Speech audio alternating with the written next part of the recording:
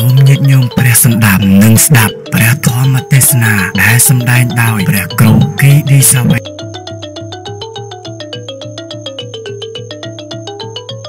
សពសាទុការអនុមោទនីការត្រាស់ដឹងជាព្រះសម្មាសម្ពុទ្ធត្រាស់ដឹងឡើងក្នុងលោកដែលមនុស្សលោកយើងតែងតែគោរពបូជា ដោយសេចក្តីជ្រះថ្លា អាត្មាភាពសូមចម្រើនពរញាតិញោមពុទ្ធបរិស័ទទាំងអស់គ្នាជាពធមជាប្រធានមានម្ចាស់ដើមទៀនប្រធានដើមបុណ្យដែលបានប្រពកម្មវិធីបុណ្យចម្រើនបជនតេកិណានុពទានឆាកនាថ្ងៃនេះ កម្មវិធីនេះដែលប្រព្រឹត្តទៅនៅគេហដ្ឋានរបស់លោកអ៊ុនសៅនៅភូមិព្រះអណ្ដូងចុងទូលណា ឃុំស្វាយជ្រុំស្រុកនិសាងខេត្តពីវែងកម្មវិធីនេះប្រព្រឹត្តទៅនៅថ្ងៃសុក្រ13រោចខែចែកឆ្នាំរកានិព្វស័កពុទ្ធសករាជ2561ត្រូវនៅថ្ងៃទី13ខែមេសាឆ្នាំ2018ស្ថិតនៅក្នុងពេលថ្ងៃរសៀលនាម៉ោង3នៅក្នុងថ្ងៃនេះ បន្ទាប់អំពីកិច្ចកម្មាទោសងូតទឹកចម្រើនព្រះបរិត្តជូនចំពោះដ៏មានតាបៃតាដែលមានជីវិតរស់នៅលេចចប់ស្រេចបាច់ទៅ បានដល់ភិរៈភ្នាក់ងារអាត្មាភាពដើម្បីបានសម្ដែងពោសសើរអំពីគុណព្រះសម្មាសម្ពុទ្ធបរមសាស្តាញាតិញោមជាពុទ្ធបរិស័ទទាំងឡាយម្ចាស់ដើមទានប្រធានដើមបុណ្យ ថ្ងៃនេះកូនចៅទាំងអស់គ្នាដែលបានប្រពធ្វើបុណ្យនៅក្នុងឱកាសនេះឈ្មោះថាយើងបានតបស្នងសងគុណចំពោះព្រះរស់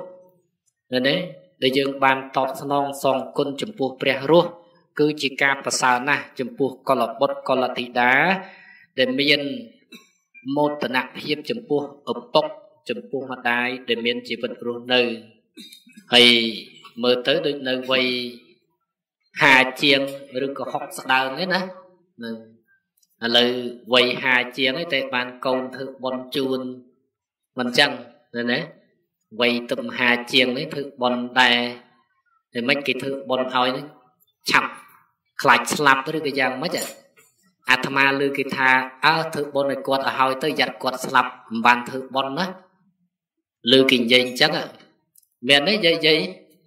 តែថាធ្វើបន់ឲ្យគាត់ឲ្យទៅតែតែគាត់ដាច់ម៉ាត់ទៅចប់ហើយតែគាត់មិនបានឃើញទេឥឡូវធ្វើបន់ឲ្យឲ្យហើយទៅណាធ្វើបន់ឲ្យតន់ខែភ្លឺទៅហើយធ្វើបន់ឲ្យហើយហ្នឹងមានន័យថាមិនតែឲ្យតកូនចៅហ្នឹងធ្វើបន់ជូនគាត់កតញ្ញូជូនគាត់ចម្រើនបច្ចុប្បន្នជូនគាត់រួចគ្នានោះទេណាទេនេះកូនចៅទាំងអស់គ្នាចំណាំណា តិចទៅធ្វើបន់បានប៉ុណ្ណឹងហើយរួចគ្នាអស់អត់រួចទេណាអត់រួចទេពពុទ្ធិសត្វកាលព្រះអង្គចាប់កំណើតកើតជាសវណ្ណសាមរែកម្ដាយនៅសង្រេចម្ខាងរែកឪពុកនៅសង្រេចម្ខាងពពុទ្ធិសត្វនៅតែមិនរួចគុណមេត្តាបៃតា ទាល់តែបានត្រាស់ដឹងឡើងក្នុងលោកពុទ្ធបានត្រាស់ដឹងឡើងក្នុងលោកទើបលោកសងគុណមេត្តាបិតារបស់លោកនឹងរួចពុទ្ធត្រាស់ដឹងហើយទៅប្រោះដល់ពុទ្ធបិតានៅឯនគរកបលភ័ពុទ្ធ លោកបានទៅសម្ដែងធម៌ប្រោះព្រះមេត្តារបស់លោក នៅឯឋានតវតឹង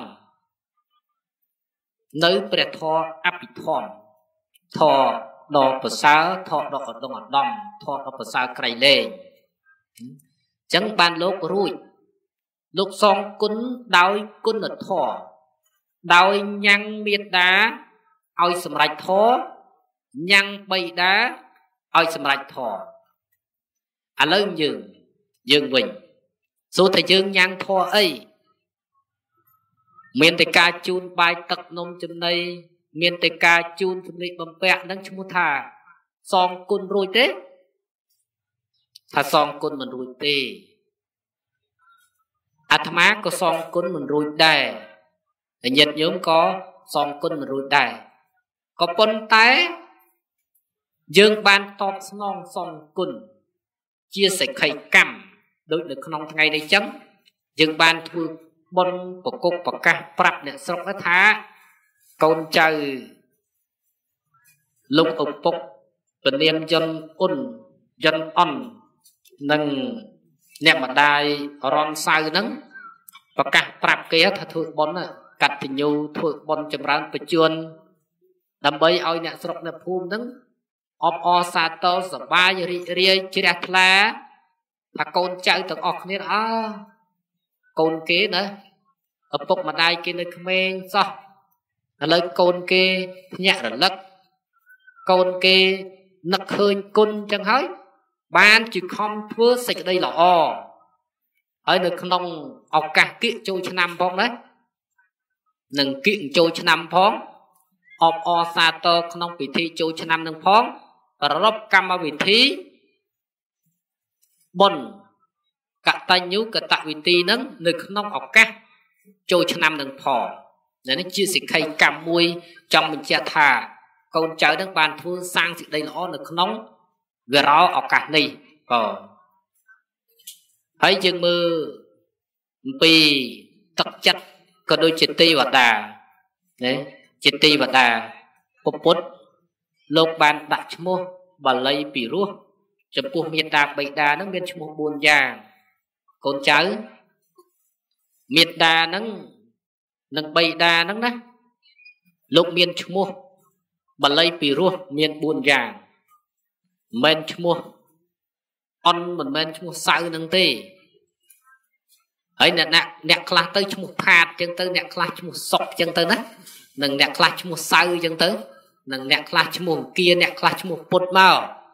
អ្នកខ្លះឈ្មោះជាអ្នកខ្លះឈ្មោះឈឺគេមិនទៅមានទេណានឹងមានដាក់ឈ្មោះរស់មានដាក់ឈ្មោះងាប់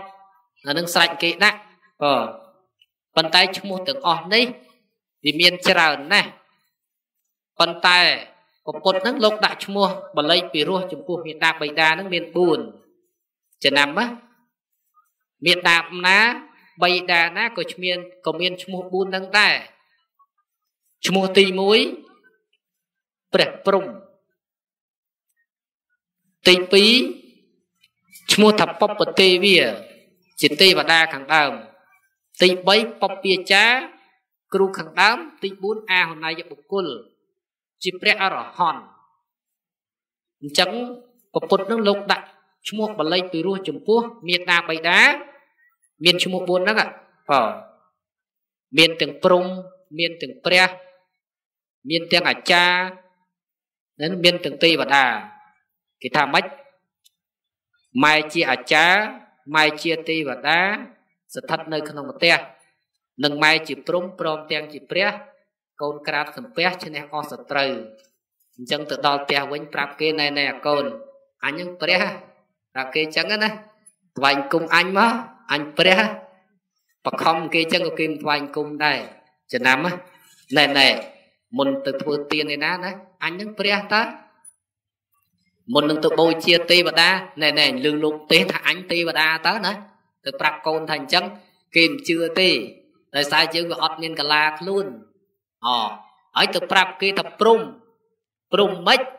បើព្រំគេមានមុខ4មកឯងមានមុខតែមួយហ្នឹងគេណាព្រំ ព្រំនេះមិនមែនព្រំឯឋានព្រំ16ជួនអរូបព្រំ4ជួនទេពពុទ្ធលោកសំដែងថាមានតាបៃតាជាព្រះព្រំហ្នឹងសំដៅទៅលើម៉ែឪហ្នឹងមានព្រំវិហារធរ4យ៉ាងព្រំមៈវិហារធរព្រំអ្នកនឹងប្រែថាល្អ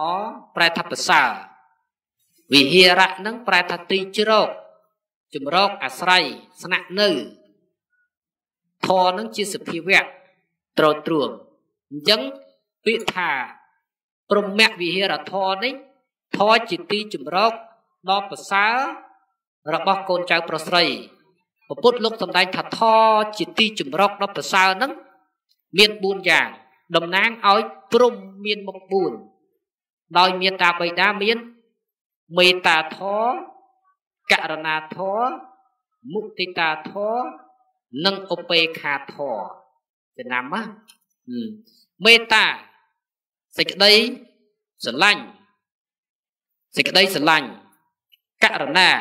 អណិតអសូរសន្តោសប្រោះបណៃមុទិតាមិនមុខធុដាណាអាត្មាលើទៅយាយយាយអានមុខធុដាមុខធុដាហ្នឹងមកពីគាត់បាក់ថ្មិញ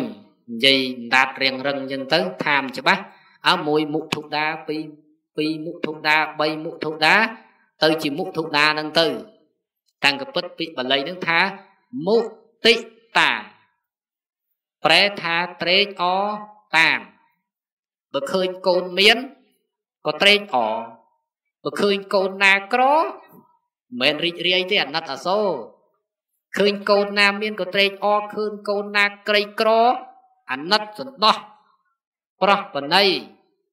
ហើយបើម៉ែឪណាស្រឡាញ់តកូនអ្នកមានស្អប់អាកូនអ្នកក្រម៉ែនឹងមិនឈ្មោះថាមានព្រំវិហារធរទេចំណាំណា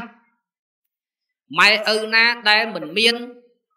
នៅណាដែលមិនមានព្រំវិហារធរមុទិតាធរហ្នឹងមកពីម៉ែហ្នឹងស្រឡាញ់តកូនណាស្អាតស្រឡាញ់តកូនណាមានស្រឡាញ់តកូនណាល្អអាកូនមិនស្អាតអាកូនណាក្រអាកូនណាមិនល្អអត់ស្រឡាញ់ទៅស្រឡាញ់តែកូនមាន នឹងមិនមែនម៉ែល្អទេក្នុងនាមយើងជាឪពុកម្ដាយល្អហើយឲ្យទៅជាព្រះព្រំពិតប្រកបនោះយើងត្រូវរីករាយជាមួយនឹងកូនមានអាណិតអសូរចំពោះកូនដែលក្រីក្រហើយញាតិញោមទាំងអស់គ្នាសិតមានទាំងអស់កូនខ្លះក៏មានកូនខ្លះអ្នកក្រមែនទេតែធ្វើម៉េចស្រឡាញ់ស្មើភាពគ្នា តែបើម៉ែគេពិតប្រកបទៅណា សុកចិត្តបានអាកូនអ្នកមាននោះបំលិចឲ្យអាកូនអ្នកក្រនោះមិនចឹងញោមថាដោយសារអីថាដោយសារម៉ែឪនឹងមានមុខតិតាធរហើយបើថាយើងដឹងតែចូលដឹងតែប្រមូលដឹងតែបដុំដឹងតែទុកហើយមិនចេះបែងចែកលេខមិនចេះឲ្យអាកូនអ្នកក្រនោះទៅជជែកស្ដីបន្ទោសអីគ្នាថែមទៀតយើងនឹងមិនមែនម៉ែល្អទេហើយយើងនឹងអត់មានព្រំវិហារធរទេ ហើយថ្ងៃណាមួយកូននឹងនឹងមានវបដិសរីនឹងនឹកខឹងក្រោកចំពោះម៉ែម៉ែនឹងឪតែសង្ឃឹមតែញាតិញោមទាំងអស់គ្នានឹងគឺមានមុទិតាធម៌ទាំងអស់គ្នាសូមអនុមោទនាសាធុមិនទៅលើសង្ស័យតែអកតេចំពោះកូននឹងទេមើលទៅណាសង្ស័យតែស្រឡាញ់អាកូនណាឆ្លាតអាកូនណាស្អាតអាកូនណាមានអាកូនណាក្រកុំមកក្បែរអញ កុំមកតាមហើយតែថាក៏តែកុំមកតាមមិនមែនចឹងទេណាបាទនឹងសូមចម្រើនពរញាតិញោមថាថាក្នុងនាមយើងជាឪពុកម្ដាយពិតប្រកបទៅណាឪពុកម្ដាយដែលស្រឡាញ់កូនអាណិតកូនជាងគេនោះគឺកូនដែលពិការនៅនេះកូនដែលកសត់ខ្សោយឪពុកម្ដាយតែងតែអាណិតអាសូរចំពោះកលបុត្រប្រភេទហ្នឹងប៉ុន្តែក្នុងនាមជាឪពុកម្ដាយគេញោម មិនស្រួលទេណាអាត្មាឃើញពិបាកណាស់ទំនងចំកូនចំចៅនឹងពិបាកដល់មកណាគិតគិតខ្លួនឯងថាអូនឹងពិបាកយ៉ាងហ្នឹងអាត្មាចប់ហើយណាគាត់តែឃើញគេអានេះពោផងកឌៀតផងក៏ក្លេកក៏ខ្លាក់ផងនឹងអាត្មាពិបាកអញ្ចឹងតើបើនឹកឃើញតែនឹកឃើញពិបាកអញ្ចឹងមិនចង់បានគេទេបើហ្នឹងហើយតែគិតដូចអាត្មាអញ្ចឹងវា គេថាឲ្យយករួចខ្លួនឯងណាបើតែបើគិតដូចអាត្មាគ្រប់គ្នា ស្រួលមួយយ៉ាងតើបើណាស់តែញាតិញោមកុំតាមអាត្មាប្រយ័ត្នអត់មានកូនអត់មានចៅអីតពូជពងវងតកូលបើមនុស្សលោកយើងហ្នឹងណាអញ្ចឹងសង្ឃឹមថាញាតិញោមទាំងអស់គ្នាហ្នឹងនឹងមានមុទិតាធរទាំងអស់គ្នានេះចំណុចទី4គឺឧបេខាធរ សំដៅទៅលើម៉ែឪហ្នឹងមានចិត្តជាកដាលមិនស្អប់កូនណាហើយក៏មិនស្រឡាញ់កូនណា មិនធ្ងន់សូមថ្លែងអំណរគុណពុទ្ធបរិស័ទតាមដានព្រះសម្ដាប់ពីដើមដល់ចប់សូម